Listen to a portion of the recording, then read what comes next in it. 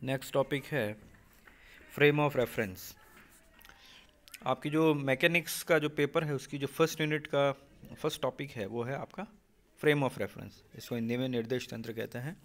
तो एक बड़ा जाना पहचाना टॉपिक जो आपने कई बार पढ़ा है पिछली क्लासेस में।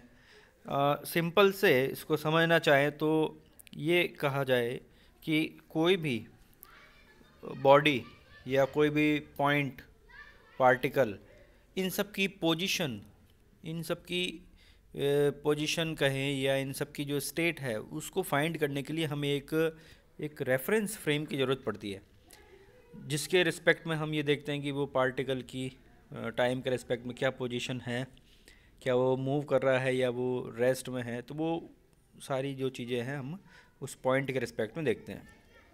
फॉर एग्ज़ाम्पल अगर मुझे स्केल से मेज़रमेंट करना है तो मैं उस स्केल को जब यूज़ लेता हूँ तो उस स्केल पर एक ज़ीरो मेंशन होता है।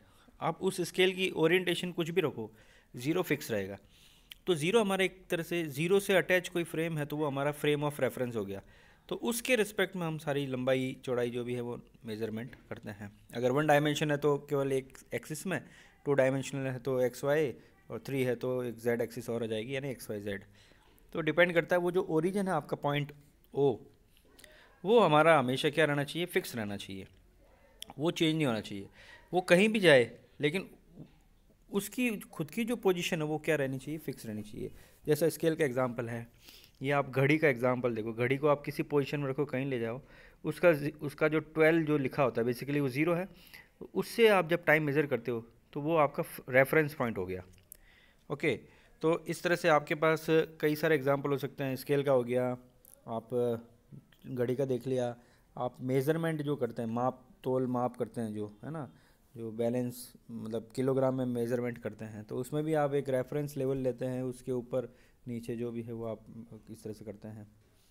तो इन सब में एक पॉइंट चाहिए होता है, जिसको कि रेफरेंस पॉइंट कहते हैं, और उस रेफरेंस पॉइंट या मूल बिंदु से जो अटैच फ्रेम होता है, उसको निर्देश तंत्र कहते हैं। तो यहाँ पर एक सिंपल सा एग्ज़ाम्पल है कार्टेशियन कोऑर्डिनेट सिस्टम का जिसको कि आप कार्तीय निर्देश तंत्र भी कहते हैं जो X Y Z three dimension में शो कर रखा है। इसके अंदर एक पॉइंट पी हमने ले रखा है जो कि एक पा, किसी पार्टिकल की पोजीशन है।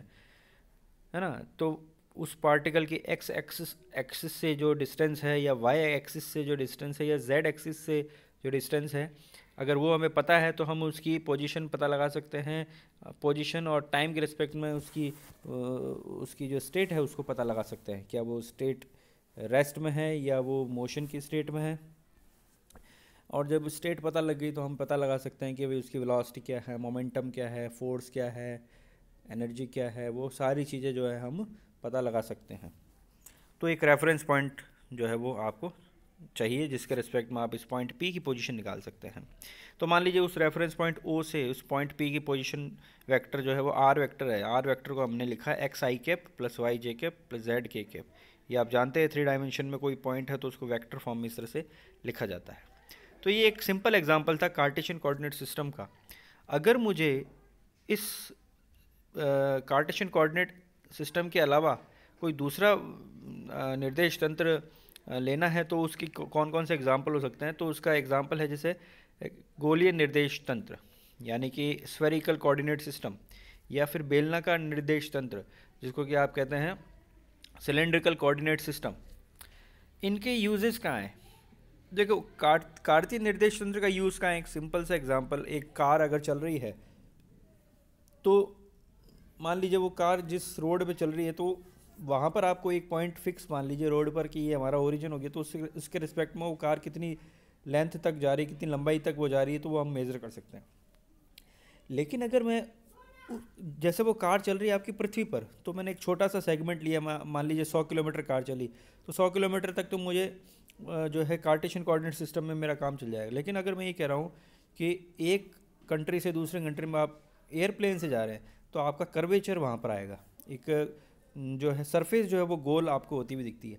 तो वहाँ पर आपका निर्देश तंत्र कार्तीय निर्देश तंत्र काम नहीं करेगा। वहाँ पर आपको जो निर्देश तंत्र लेना पड़ेगा, वो आपका होगा गोलीय निर्देश तंत्र स्फेरिकल कोऑर्डिनेट सिस्टम यानी कि जो पृथ्वी के ऊपर जो मेज़रमेंट हम ले रहे हैं, बड़े लेवल पर, मान लीजिए कि हमारा जो कंट्री इंडिया है, या इंडिया से हम जा रहे हैं जैसे कि ब्राज़ील जा रहे हैं, या अमेरिका का यूएसए जा रहे हैं ब्रिटेन जा रहे हैं तो वहाँ की जो पोजीशन है उसको हम किससे मेज़र करेंगे? तो हमारा जो कोऑर्डिनेट सिस्टम होगा, वो होगा स्फेरिकल कोऑर्डिनेट सिस्टम ओके या या जो वेदर फोरकास्ट होता है है ना? जो मौसम विज्ञान है, या जो तूफ़ान चलते हैं, चक्रवात वगैरह तो उन सब की पोजीशन लोकेट करने के लिए हम स्फेरिकल कोऑर्डिनेट सिस्टम यूज़ लेते हैं. और सिलेंड्रिकल कोऑर्डिनेट सिस्टम जो आपका बेलनाकार कोऑर्डिनेट सिस्टम है, इसका यूज़ कहाँ आता है? तो जहाँ पर भी इस प्रकार के, जैसे कि पाइप ले लीजिए आप, पाइप, जिसमें से पानी फ्लो कर रहा है या पाइपलाइन है जहाँ जहाँ पर आपके जो पानी की पाइपलाइन हो सकती है या पेट्रोल की, डीजल की, जो भी, उनमें से जब फ्लो होता है तो उनके फ्लो के मेज़रमेंट के लिए हम जो कोऑर्डिनेट सिस्टम यूज़ लेंगे, वो लेंगे आपका सिलेंड्रिकल कोऑर्डिनेट सिस्टम, है ना? तो एक सिंपल सा एग्जांपल, जैसे ट्यूबलाइट है आपका, ट्यूबलाइट ट्यूबलाइट से जो लाइट निकल रही है तो उसका जो वेव फ्रंट बनता है, वो कैसा बनता है? उस, वो आपका सिलेंड्रिकल वेव फ्रंट बनता है। तो उस वेव फ्रंट का अगर मुझे एनालिसिस करना है या उसकी इंटेंसिटी का डिस्टेंस के साथ में एंगल के साथ में चेंजेस देखने हैं तो मुझे मैं कौन सा कोऑर्डिनेट सिस्टम यूज़ लूँगा?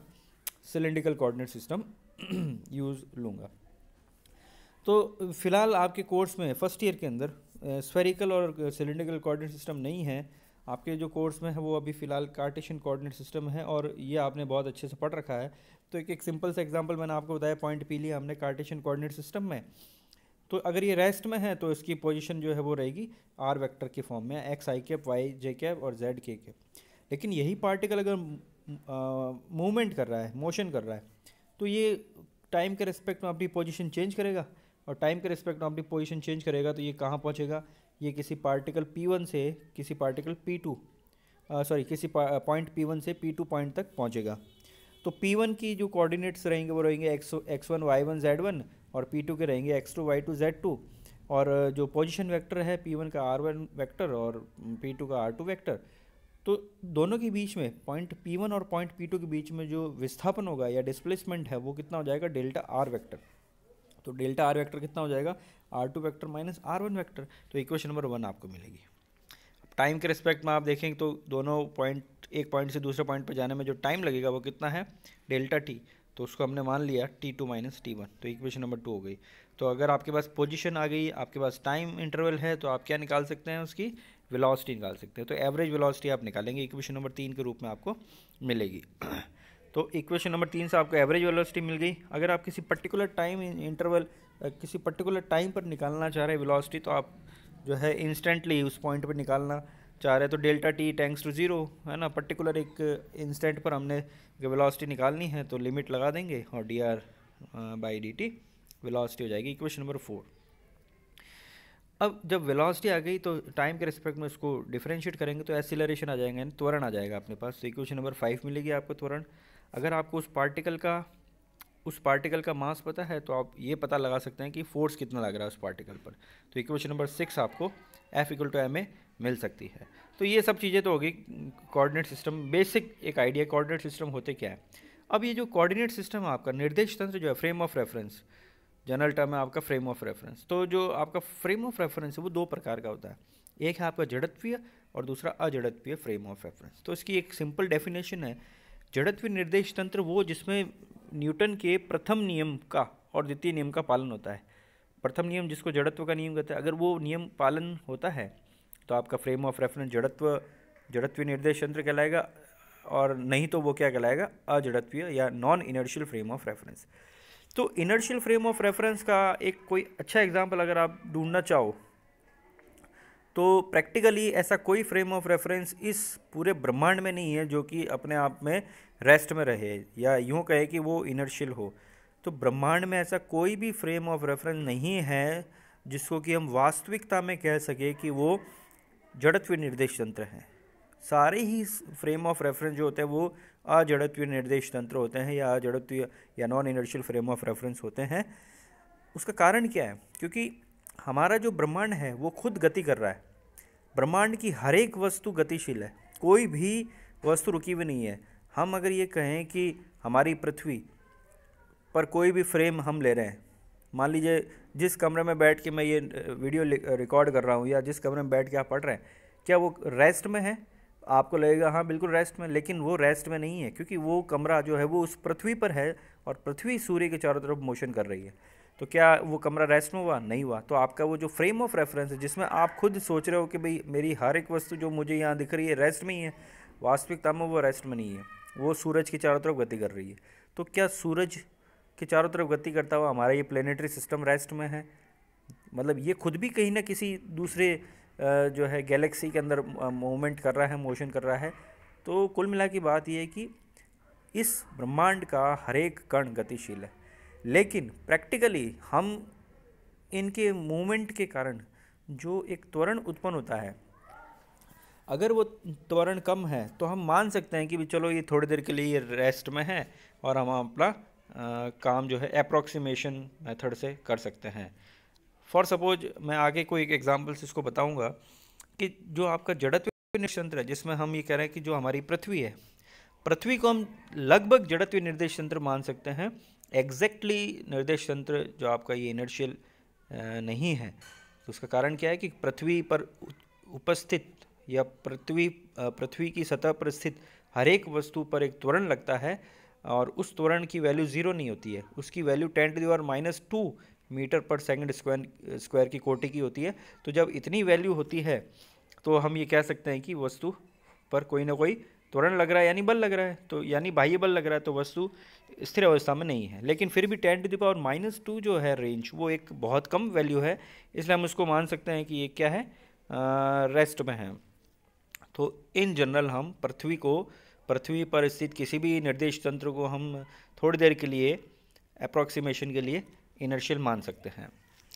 तो इनर्शियल फ्रेम ऑफ़ रेफरेंस आपको समझ में आ गया होगा कि एक ऐसा फ्रेम ऑफ़ रेफरेंस जिसके ऊपर कोई कोई भी बाह्य बल नहीं लग रहा।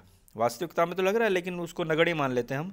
नगड़े मान लेंगे तो हम ये कहेंगे कि भाई उस उस उस फ्रेम ऑफ़ रेफरेंस पर कोई भी कण जो है, उस पर कोई बल नहीं लग रहा। तो बल नहीं लग रहा तो हम ये कहेंगे कि F equal to M A जो कि फोर्स है एक्सटर्नल फोर्स वो है ज़ीरो तो जब ज़ीरो है तो तोरण की वैल्यू क्या रहेगी? ज़ीरो तो वेलोसिटी क्या रहेगी? नियत। यानी कोई वस्तु अगर नियत अवस्था में है नियत अवस्था में गतिशील है, नियत वेग से गतिशील है तो वो नियत वेग से ही गतिशील रहेगी, और अगर वो मान लीजिए रेस्ट में है तो वो एब्सोल्यूट रेस्ट में रहेगी।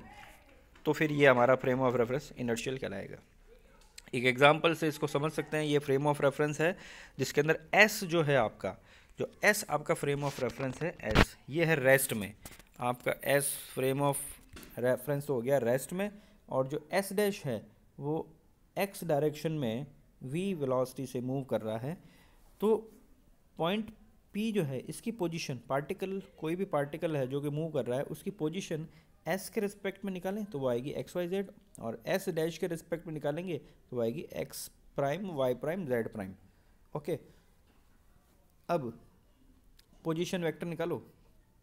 तो पोजीशन वेक्टर क्या हो जाएँगे? तो पोजीशन वेक्टर आप देखें तो पॉइंट पी का जो पोजीशन वेक्टर है, वो एस फ्रेम के रेस्पेक्ट में हो जाएगा आर वेक्टर और एस डैश के रिस्पेक्ट में या एस प्राइम के रिस्पेक्ट में आर प्राइम वेक्टर और जो ओ से ओ प्राइम की जो डिस्प्लेसमेंट है, वो जाएगा V prime V vector T ठीक है तो अब सिंपली है आर वेक्टर जो हो जाएगा वो R prime plus O O prime vector के सम के बराबर। और ओ ओ की जगह हम V V vector into T लिख सकते हैं तो इक्वेशन नंबर वन आपको मिल जाएगी। जहाँ वी वेलोसिटी जो है वो कांस्टेंट वेलोसिटी है। अब सिंपल है, यहाँ से आप क्या करें पोजीशन आ गई। टाइम के रिस्पेक्ट में उसको अवकलन कीजिए। अवकलन करेंगे तो आपको D R prime upon D T equal to D R divide by D T minus V equation number two मिलेगी। अब आप इसको एक बार फिर से टाइम के रिस्पेक्ट में डिफ्रेंशिएट करें। डिफ्रेंशिएट करेंगे तो आपको मिलेगी इक्वेशन नंबर टू से इक्वेशन नंबर जो नेक्स्ट आपकी लिख रखी है D two R prime by D T square equal to D two R upon D T square minus zero क्योंकि वी कॉन्स्टेंट है ना। वी कॉन्स्टेंट है तो उसका डिफ्रेंशिएशन ज़ीरो हो जाएगा। तो इससे हमें मिलेगा A vector prime equal to A vector okay तो इसका मतलब क्या हुआ कि अगर अगर कोई फ्रेम ऑफ़ रेफरेंस नियत वेग वी से किसी एक दिशा में गतिशील है तो उस पर स्थित कोई दूसरा जो कण है, वो भी नियत वेग से गतिशील होगा, यानी कि जो त्वरण है उसमें कोई परिवर्तन आपको नहीं मिलेगा, दोनों फ्रेम के रिस्पेक्ट में। तो इसलिए ये आपका क्या कहलाएगा? इनर्शियल फ्रेम ऑफ़ रेफरेंस तो इस क्लास में हम इतना ही पढ़ेंगे। अगला जो हमारा टॉपिक होगा गैलीलियन ट्रांसलेशन वो हम अगली क्लास में पढ़ेंगे।